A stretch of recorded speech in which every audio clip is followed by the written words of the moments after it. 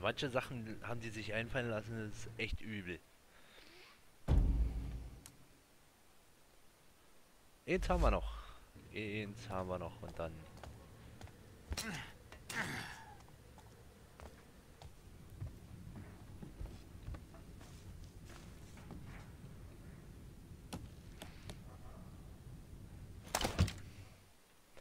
Dann geht's an die Hauptquest weiter. Dann habe ich nämlich alle Ziele fertig. Alle Aufträge.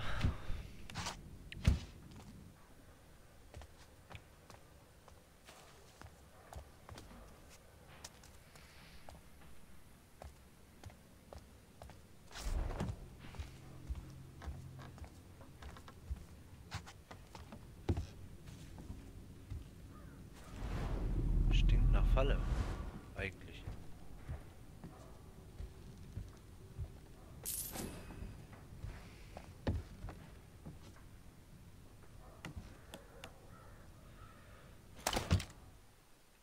Ich meine, am Anfang fand ich das ja cool. Aber wenn du das tausendmal gemacht hast, dann ist es irgendwann mal echt nervig, diese Animation.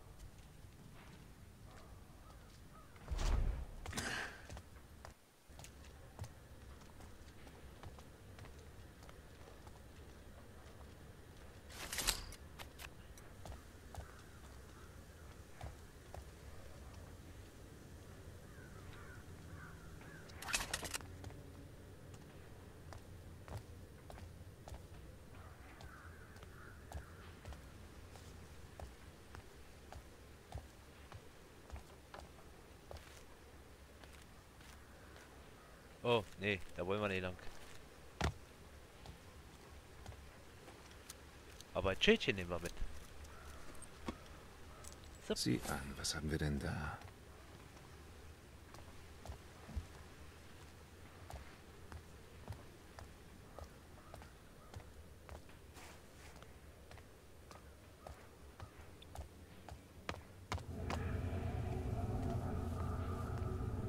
Rate mal, was ich gestern in Tracys Speicher gesehen habe. Was hast du da oben gemacht? Hab mit ihrer Nachtsofa rumgespielt. Hör zu, sie hat ein Gemälde von Montonessi. Bestimmt nicht echt. Sie könnte sich tausendfach aus der Stadt rauskaufen, wenn das ein Original wäre. Wo wohnt sie doch gleich nochmal? Hoppala. Hab ich mich ja leicht, aber wirklich nur ganz leicht erschrocken.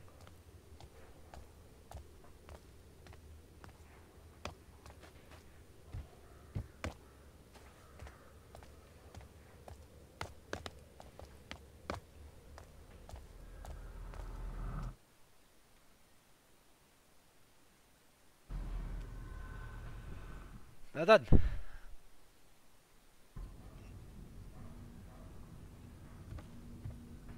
Muss es in der Kanalisation lassen. Oh, werter Sir.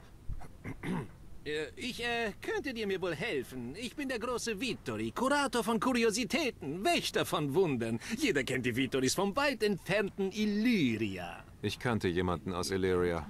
Der klang ganz anders. Was? Euer Akzent verrutscht. Mist. Äh, aber das ist Pferdehaar aus Illyria. Für die Show. Darbietung, Sira. Darbietung ist alles. Ihr solltet das wissen. Seht euch doch an. Na? Na? Nicht? Ich hörte, ihr benötigt Hilfe. Ah, furchtbare Zeiten. Erst beschlagnahmt die Wache mein Schiff, dann schleichen Diebe an Bord und stehlen meine besten Attraktionen. Unbezahlbar, Sira. Also eine neue Nummer? Nein, ich... Das heißt, Moment. Jetzt, wo ihr es sagt, ihr werdet durchaus interessant. Die Damen mögen Leder. Das war keine Bewerbung. Ach so. Nun, dann könntet ihr meine Existenzgrundlage wiederherstellen. Was sagt ihr? Seid ein Kerl. Das Erste, das mir fehlt, ist ein sprechender Schädel, der Weissagen kann. Eine bemerkenswerte Kuriosität. Sagt mir, Freund, wollt ihr die Zukunft wissen? Lasst mich raten. Ich finde den Schädel und bekomme viel Geld. Ha, sehr gut, Syrah. Der Schädel selbst wäre beeindruckt. Viel ist vielleicht etwas übertrieben. Angemessen trifft es besser. Stehlt ihn den Schurken, die ihn mir gestohlen haben. Ausgleichende Gerechtigkeit. Na klar, machen wir doch. Oh, Sir! Ihr seid ein wahrer Ehrenmann und Gelehrter. Ein Streiter für das Schaugeschäft. Wo versteigert jemand ohne Moral einen kriminell erworbenen Weissagungsschädel? Das ist einfach. Auf dem Schwarzmarkt. Das hätte ich ihm auch sagen können. Ja, Leute, aber das werde ich jetzt wohl erstmal nicht machen. Weil... Hm, wie soll ich sagen? Ich möchte ja auch mal weiterkommen.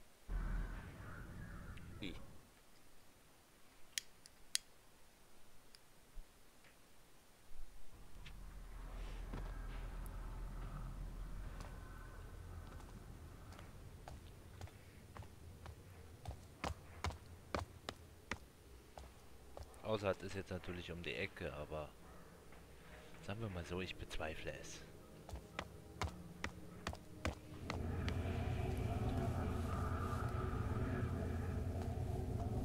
Alter, diese Dreckswachen gehen bis auf die Eier.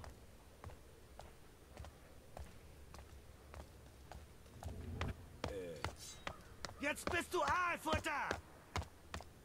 Du bist ein kompletter Idiot. Läufst du jetzt zur Wache? Hä? Was? Er ist verschwunden. Zwing mich nicht, dir nachzulaufen. Wo kommt die denn her?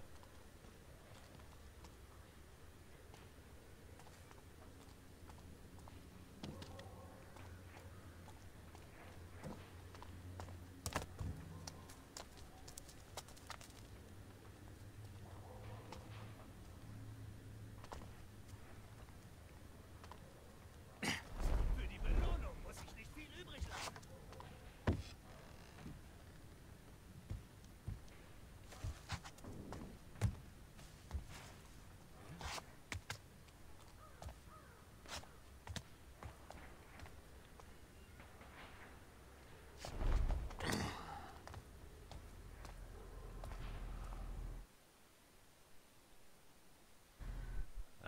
Mach mal.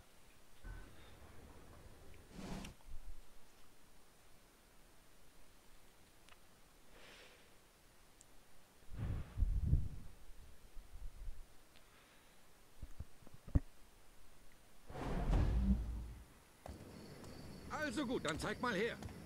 Was herzeigen? Das Orakel, du Trunkenbold. Oh, naja, ich habe es nicht dabei. Man sollte Geschäfte nie mit den Händen machen, mit denen. Ja, mit denen man isst. Es ist sicher verwahrt. Bei allen toten Göttern. Du hast bis zum Schlag des Glockenturms, um es herzubringen. Sonst kannst du dir einen anderen Käufer Hey, suchen. psst, psst. Wozu denn so ein Aufhebens? Ich bin ja schon unterwegs. Lanny. Bestehl den Meister Trunkenbold nicht zum ersten Mal. Also nochmal. Wie soll man eine Tür öffnen, wenn der Griff sich Hört mir ständig bewegt? Zu? Ich brauch Feuer.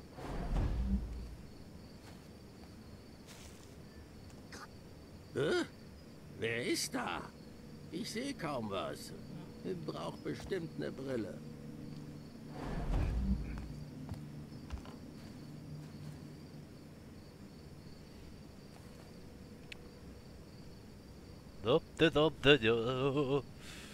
Komm, wir trinken. Jungs, ich bin's. Oh, toll. Lenny kommt zu mir. Der alte Trupp wieder vereint. Meine Fresse, wie lange ist das her? Naja, also etwa drei Stunden, Lenny. Was? Die Zeit vergeht wirklich wie im Flug. Ja, stimmt's? Trinken wir auf alte Bekanntschaften oder bis die Flaschen leer sind. Die Pfeife ist aus. Jemand ein Streichholz? Schmeckt irgendwie seltsam. Ist das Zeug alt? Nein, da hast du bei deinem letzten Besuch reingepisst. ich brauch Feuer, Jungs. Was ist hier los? Meine verdammte Pfeife brennt. Ich wollte Feuer, nicht die Apokalypse. Das muss dieser dämliche Idiot gewesen sein. Sogar die rote Jenny würde umdrehen, wenn sie ihn kommen sieht. Ihr seid wohl beschäftigt und habt keine Zeit für den alten Lenny. Gut, geh ich eben.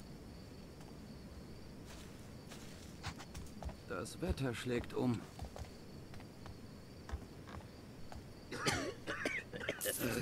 Noch nie einen Betrunkenen mit der Schwermut gesehen. Ich selbst hatte immer nur schwarze Zähne. Doktor, sag ich, Messer weg, die stinken nicht schlimmer als sonst. Und dann sind sie von selber abgefallen. Sie hat nichts gekostet.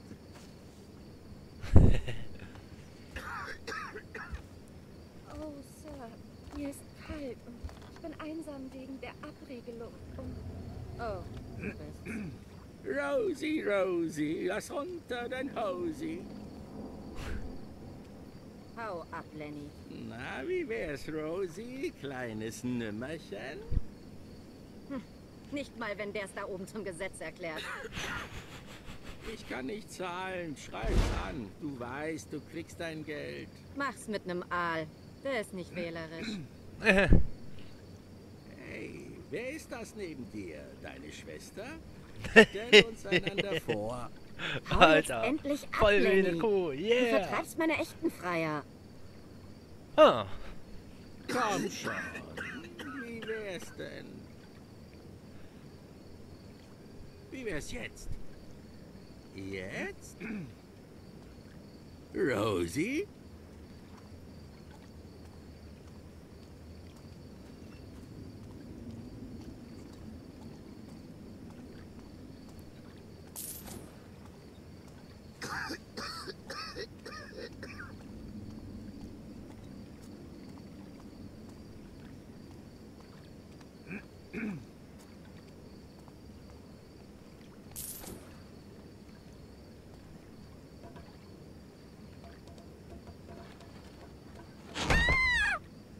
Wo, wo ist sie hin?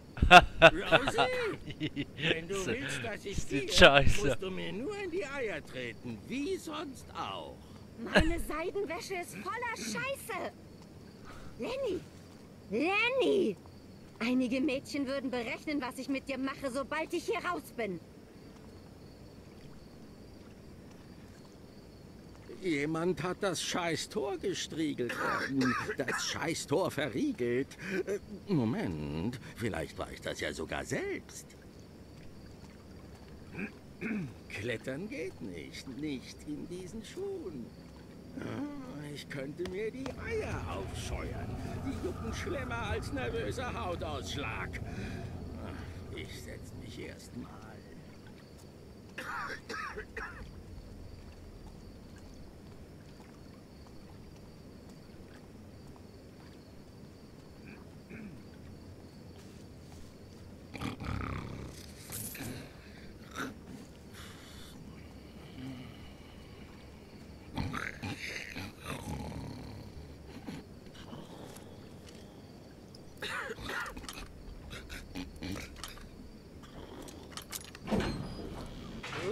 Ruhig, alles in Ordnung, Mutter Hauptmann, Sir.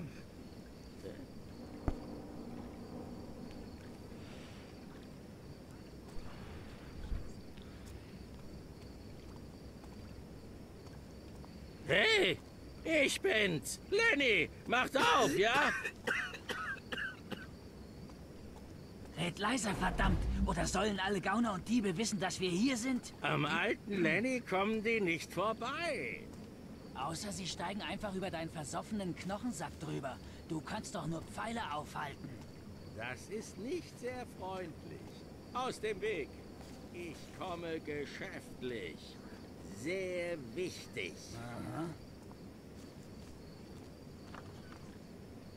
Äh, was für eine Nacht. Ich muss was trinken. Lenny zu beschatten war nicht einfach. Aber er hat mich zu seiner Bande geführt. So hungrig.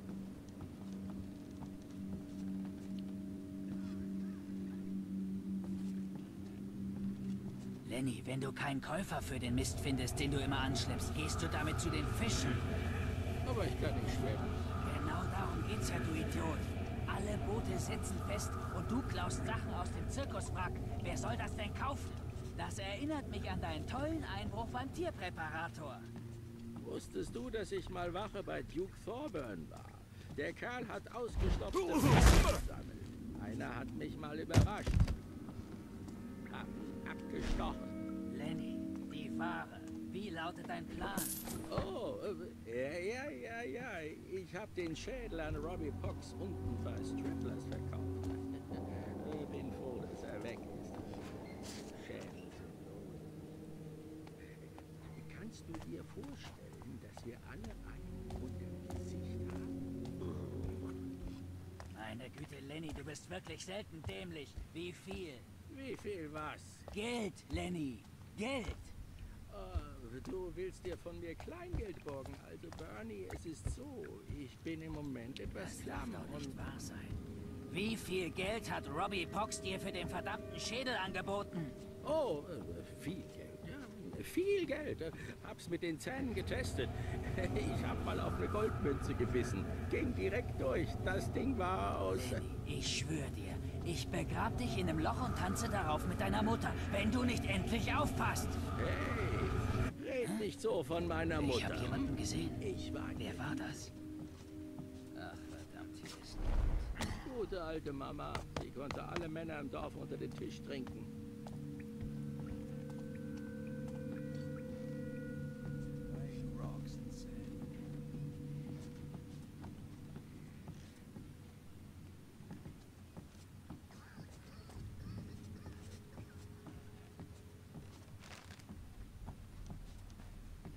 Ist nur aus dieser Stadt geworden?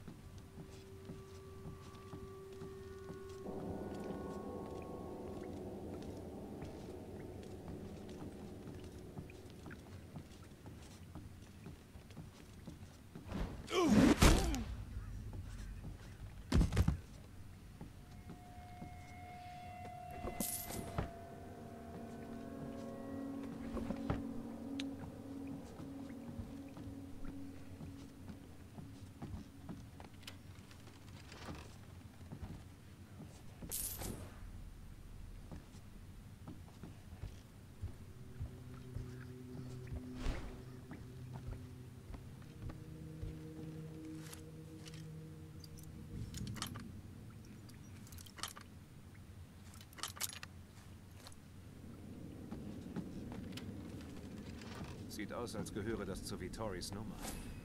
Nur, dass der Schädel echt ist. Ihr werdet treffen einen Fremden bald. Groß, dunkel, gut aussehend, kalt.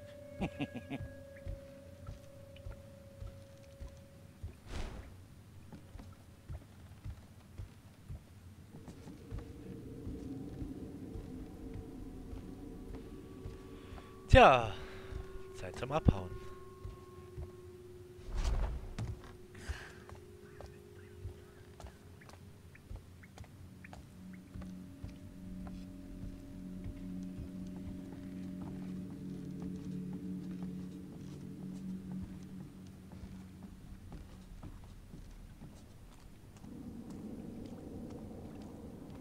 Ihr erobert eines hochgestellten Herz und erhaltet Reichtum ohne Schmerz. Ist da oben jemand?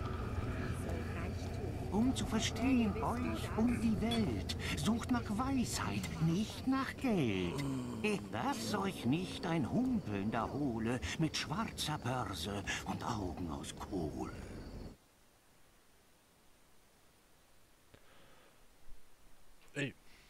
Habt auf Ja gedrückt.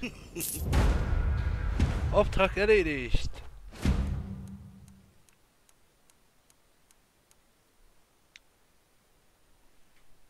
Ja, ist mir egal.